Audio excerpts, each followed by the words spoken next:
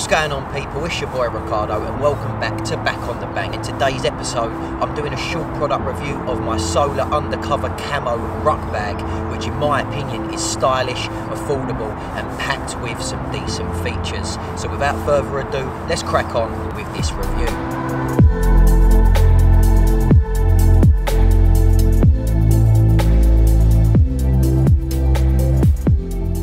So, the Solar Undercover Camo Rucksack is probably one of my favourite purchases this year, and the reason for that is because A, it is very, very portable, um, not too big.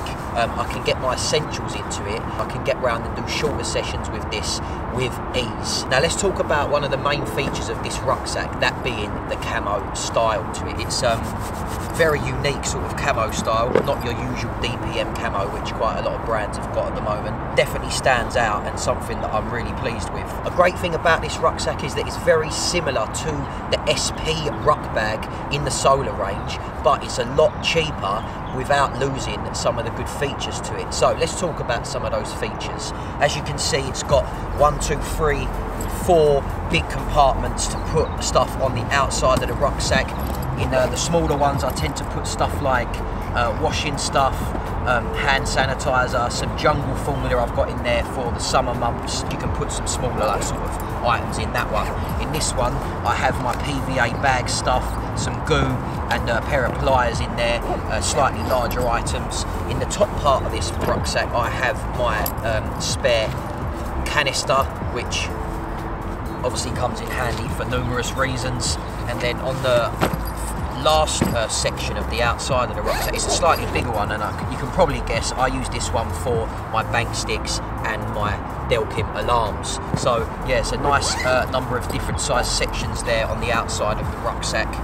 Uh, the second feature that I like is on the straps. You've got a neoprene sort of material on the inside of the straps, which is really, really comfortable. And then you've got the chest clip there as well if you want to um, put slightly more in the bag and obviously support your back, which is primary concern.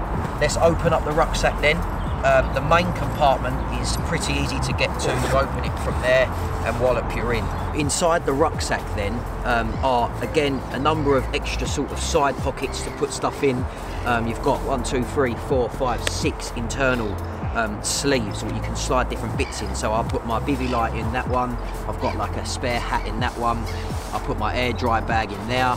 Um, pop-ups and rig foam in that side you get the idea. Uh, my head torch case, some sunglasses, and an additional pot of pop-ups there. So yeah, a lot of stuff you can fit in the side pockets on the inside of the rucksack.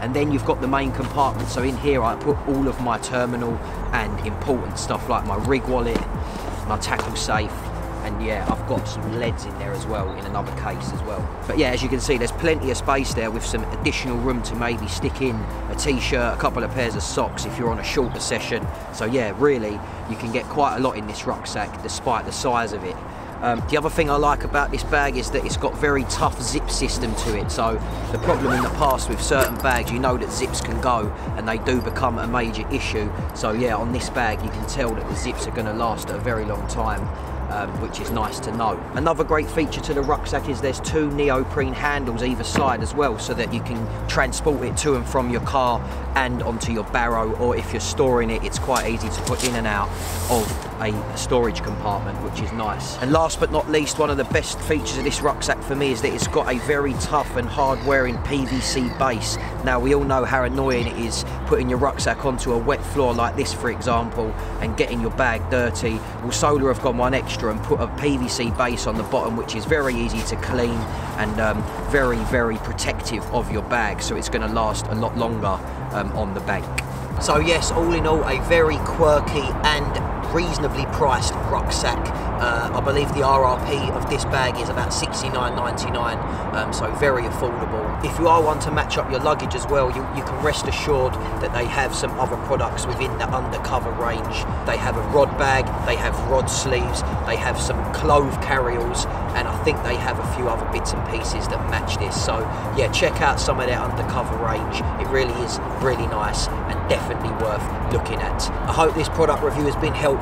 Please like, share and subscribe to my channel and if you want more product reviews in the future, please let me know in the comment section below and I shall see you in the next video. Take care and tight lines.